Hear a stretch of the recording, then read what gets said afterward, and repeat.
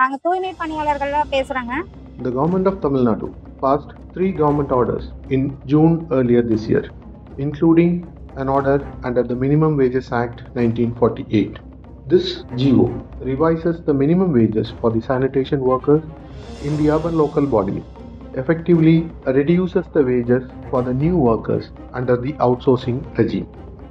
While the contract and temporary workers are seeking permanent employment, this move of the government of Tamil Nadu has shocked the workers, a majority belonging to the socially and economically deprived sections. NewsClick spoke to the workers about the issues they face.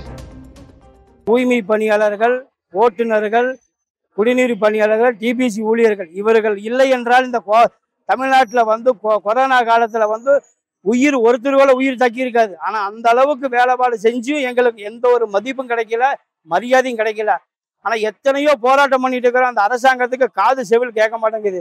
நாங்க கஷ்டப்பட்டு உழைக்கிறோம். ஆனா அந்த அளவுக்கு எங்களுக்கு வந்து ஊதியமே கிடையாது.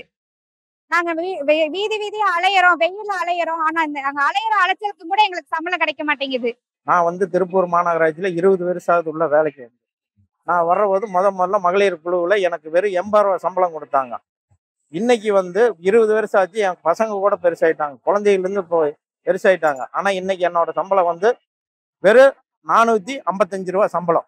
ஆனால் எங்களுக்கு நூறுரூவா சம்பளம்னாலும் கவர்மெண்ட் மூலிமா எங்களுக்கு சம்பளம் கொடுத்து ஆஃபீஸ் மூலியமா சம்பளம் கொடுத்தாங்கன்னா எங்களுக்கு அதுவே போதும். அது பரமண்டு எப்போவோ வந்துட்டு மொத்தத்தில் எங்களை வந்து தனியார் கூட வேண்டாங்க.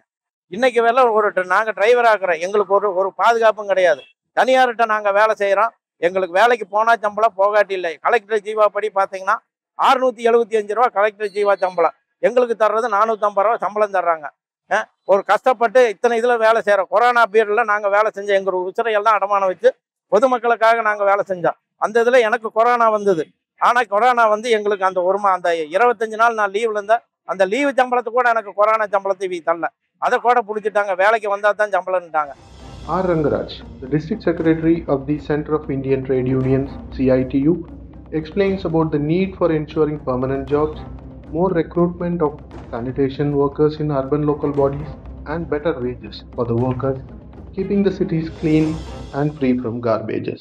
இதற்கு மிக முக்கிய காரணம் தமிழ்நாடு அரசு இந்த தூய்மை பணியை தனியாருக்கு விடுவதற்காக கொண்டு வரப்பட்ட அரசாணை எண் நூற்றி ஐம்பத்தி ரெண்டு அரசாணை பத்து அதேபோல் பேரூராட்சிகளுக்கான தனியார் மய அரசாணை நூற்றி முப்பத்தொன்பது கடந்த ஜூன் முதல் இந்த அரசாணை என்பது பல மாநகராட்சிகளில் நகராட்சிகள் அமல்படுத்த துவங்கி ஒரு மிகப்பெரிய பிரச்சனையை தூய்மை பணியாளர்களுக்கு உருவாக்கி வருகிறது.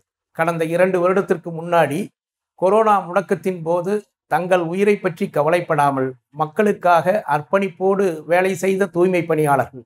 அவர்களுக்கு இன்றைக்கு மிக பெரும் அநீதி இந்த அவுட்சோர்சிங் முறையால் இன்றைக்கு தமிழ்நாடு அரசு உள்ளாட்சித்துறையால் செலுத்தப்பட்டு கொண்டிருக்கிறது. தேர்தலுக்கு முன்னாடி வந்து முதலமைச்சர் வந்து வாக்கு கொடுத்தாரு. உங்களோட வாக்குறுதிகளை நாங்க நிறைவேற்றுறோம் கான்ட்ராக்ட் நாங்க விட மாட்டோம் தனியாருக்கு கொடுக்க மாட்டோம்னு சொல்லி முதலமைச்சர் அறிவிட்டாரு அந்த அறிக்கை இப்ப என்னாச்சுன்னே தெரியல. இதுக்கு வந்து ஒரு முடிவு தெரியணும். இன்றைக்கு தொழிலாளிகள் மத்தியில் கொந்தளிப்பை ஏற்படுத்தி பல நகராட்சிகள் மாநகராட்சிகளில் தொடர்ந்து போராடி கொண்டிருக்கிறார்கள். இதை உடனடியாக தமிழ்நாடு அரசு தலையிட்டு உள்ளாட்சித்துறையும் தலையிட்டு உடனடியாக இதில் தீர்வு காணப்பட வேண்டும். தூய்மை பணியில் அவுட்சோர்சிங் முறை என்பதை கைவிட்டு சட்டப்படி நானூற்றி எண்பது நாட்கள் வேலை செய்த தூய்மை பணியாளர்களை பணி நிரந்தரம் செய்வதுதான் உரிய தீர்வாக இருக்கும்.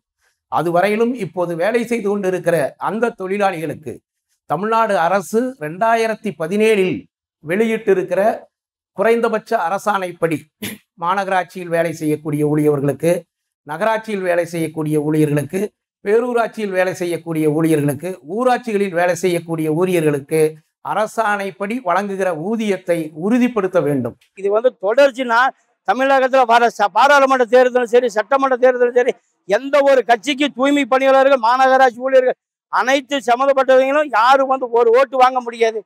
இதை வந்து நாங்கள் சவாலாக எடுக்கிறோம். எங்களுக்கு மட்டும் கோரிக்கை நிறைவேறினா எந்த ஒரு யாரு வந்தாலும் அதை எதிர்த்து நிற்கிற அளவுக்கு எங்களுடைய பலத்தை காட்டுவோம்.